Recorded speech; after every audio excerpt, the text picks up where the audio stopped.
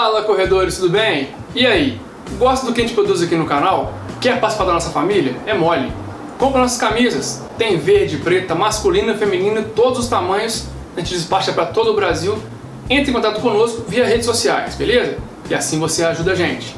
E ajuda também comprando nossos parceiros. Cupom de desconto da Suncode, que é o nosso óculos que a gente usa já há mais de um ano, e da OMI, o fone show de bola que a gente está usando, beleza? Bom vídeo!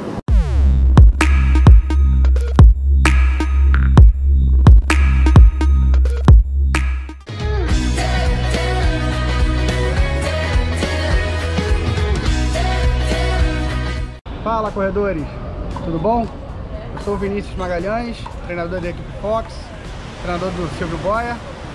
É, o tema de hoje, posso correr com dor? Vamos lá.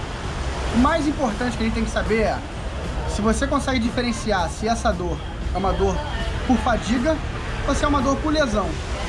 Se for uma dor por lesão, esquece correr. Trata primeiro para que você não agrave essa lesão que você pode só estar sentindo. Então, faz aí, de repente vai dar uma parada, vai ao médico, vai no fisioterapeuta para poder fazer uma avaliação do que é a dor, da onde está gerando e o que pode ser. E se for uma lesão leve, de repente você vai voltar mais rápido a treinar. É... Se for uma dor muscular, por exemplo, ah, treinei um pouco mais pesado ontem, estou dolorido, estou sentindo um leve desconforto, você consegue treinar normalmente. E muitas vezes é até bom, é o que a gente chama de recuperação ativa. Você faz um treino um pouco mais pesado, está um pouco mais dolorido, faz uma rodagem um pouco mais leve, com uma intensidade bem reduzida, com um volume não muito alto, porque você ajuda o corpo a recuperar mais, mais rápido. É, vou dar um exemplo até do treino de hoje. Na quinta-feira eu fiz um teste de VO2, um teste super forte, é, onde exigiu pra caramba. E eu hoje de manhã tava bem dolorido. O que, que eu fiz? Vamos dar um trotezinho. Lá Z2, frequência cardíaca baixa, nada de muita intensidade, correr bem relaxado, correndo até conversando, batendo um papo, o que ajuda a soltar muita musculatura. Pós-treino, eu já estava me sentindo bem melhor. E a tendência é você recuperar muito mais rápido se você faz um treino para recuperar ativamente. É, os treinos de recuperação ativas, ele pode ser de corrida, mas você também pode usar outras coisas. Por exemplo, uma natação ou uma musculação bem leve.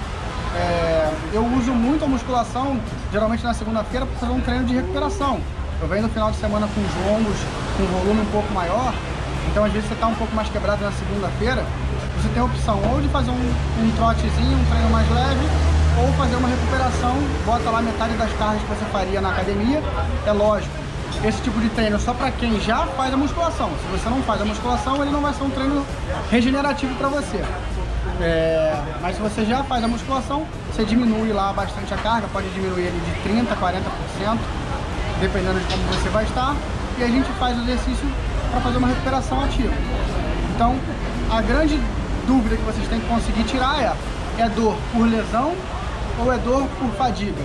Sempre que for dor por fadiga, a gente recomenda que façam os treinos mais leves para recuperar.